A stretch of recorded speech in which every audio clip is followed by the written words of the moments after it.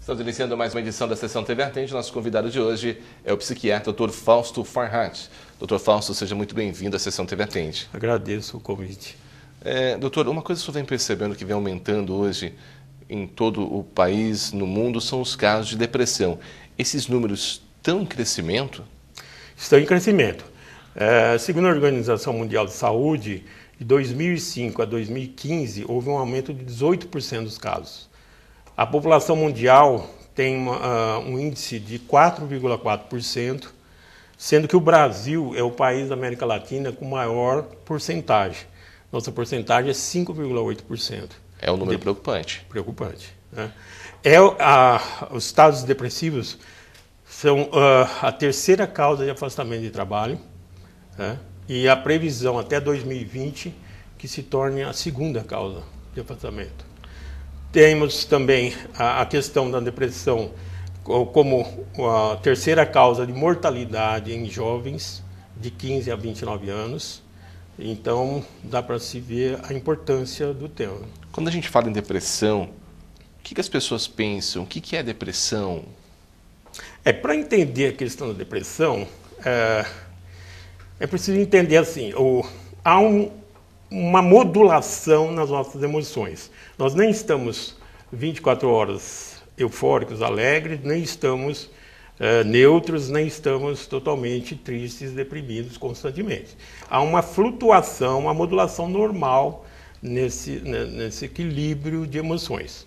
E isso envolve uma série de substâncias, de neurotransmissores, como serotonina, dopamina, noradrenalina, que fazem essa regulação. Nos processos depressivos, há uma rigidez, há uma permanência, um prolongamento dos estados de tristeza, de desânimo, que, que isso envolve inclusive nos circuitos uh, cerebrais, com destruição aumentada de serotonina, dopamina, uh, retirada do, das regiões de transmissão de influxo nervoso, uma retirada mais rápida, de forma que esses estados vão se prolongando. Né? a partir de duas semanas de permanência de um estado de tristeza, já pode se considerar um estado depressivo. O que, que provoca isso na pessoa? As causas são várias. Existem estudos que mostram uma predisposição genética, né? existem estudos interessantes com gêmeos, gêmeos idênticos e gêmeos não idênticos. Nos gêmeos idênticos, a porcentagem, se um gêmeo tem depressão, a porcentagem do, do segundo ter é de 50% a 60%. Já em gêmeos não idênticos, é de cerca de 20%. Então, assim, isso indica que há uma predisposição, mas também não é automático. Né? Se eu tenho um familiar com depressão, não significa que automaticamente eu vou ter.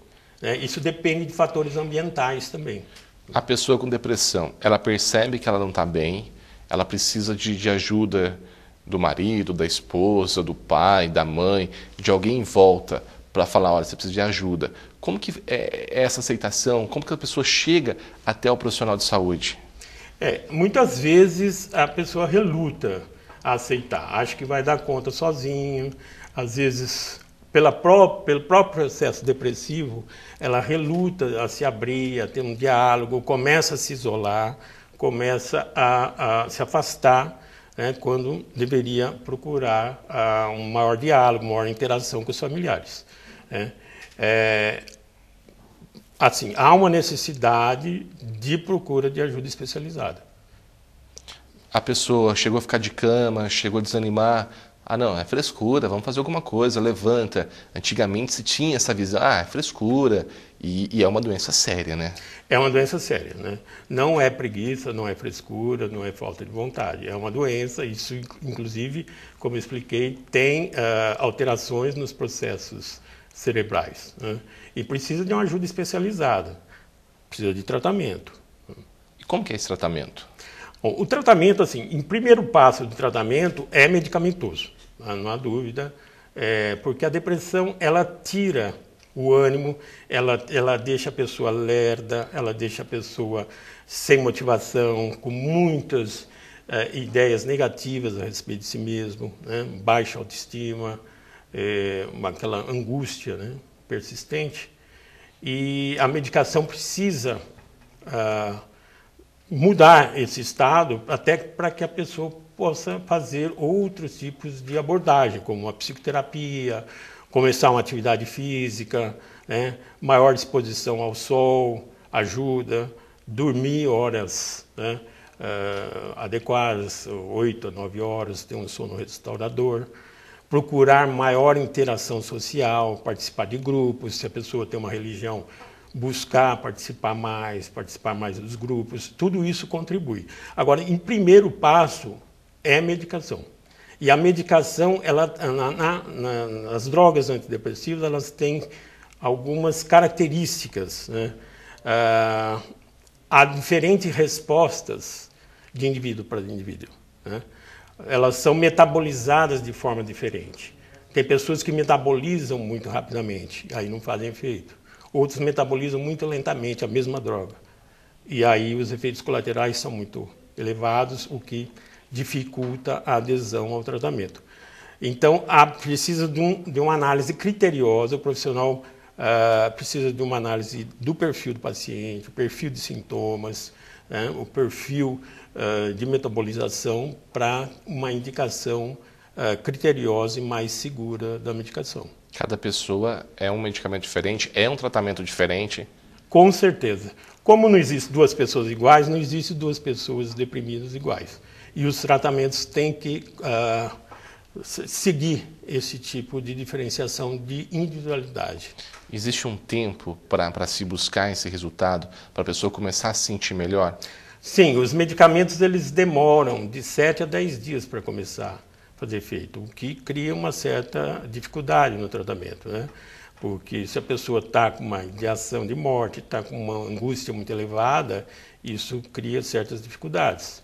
Mas geralmente, a maioria dos casos melhoram muito com a medicação. O senhor percebe, o senhor percebe hoje que as pessoas têm mudado a visão que a depressão, como o senhor falou, a depressão ela pode levar à morte, ela pode chegar a esse ponto extremo.